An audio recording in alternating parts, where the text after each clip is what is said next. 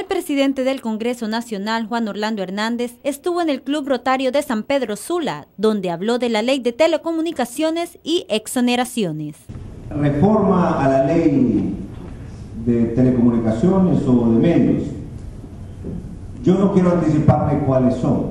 Yo solo puedo decirle que el presidente envió un documento.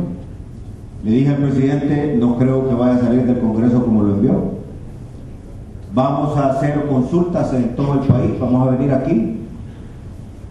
Pero yo le podría decir, don Jack, don Jack que hay dos o tres principios que creo que deben de, como de orientar este debate. Uno es cuidar la libertad de expresión y la libertad de prensa. Pero el otro es revisar la legislación actual para que el dueño del medio o el periodista en el ejercicio no abuse de esa libertad de expresión o de prensa.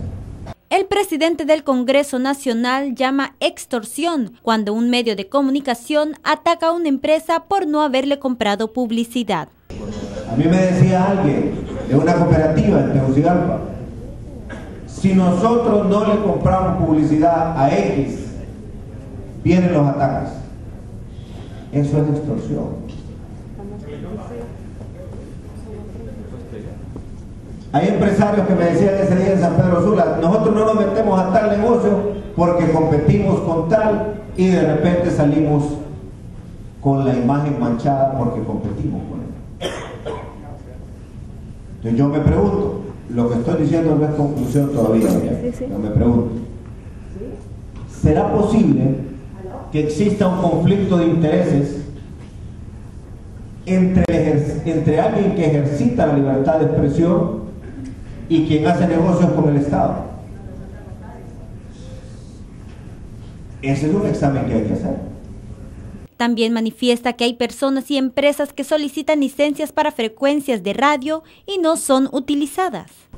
¿Será posible que alguien, voy a poner un ejemplo de Occidente, que alguien llegue a acumular más de 23 licencias para ganar, para frecuencias perdón, de radio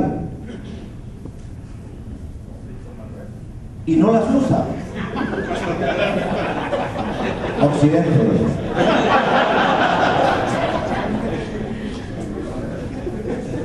Porque el radio espectro es, es un bien del Estado no es del individuo. Se le da una licencia para que lo use. Entonces yo creo que la protección al pueblo versus la libertad de expresión de prensa es un balance que debe orientar esta discusión. Asegura que algunos medios de comunicación no quieren que se revisen las exoneraciones por conveniencia. ¿Saben qué creo que está de por medio? En el caso de algunos medios, que no quieren que revisemos las exoneraciones que tienen yo no miro justo que una exoneración sea de por vida. Está bien que una empresa para que crezca y que nos genere empleo.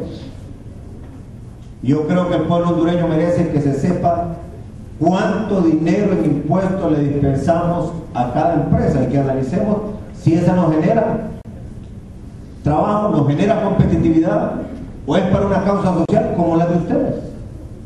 Por ejemplo, ese debate tenemos que tenerlo. Yo lo que le invitaría, doña, cuando tengamos ese debate en San Pedro Sula, que sea parte y ahí y el mismo eh, el mismo pueblo nos pueda decir, miren, esto o lo otro. Para Teleprogreso, el canal de nuestra identidad, informó Pamela Mejía.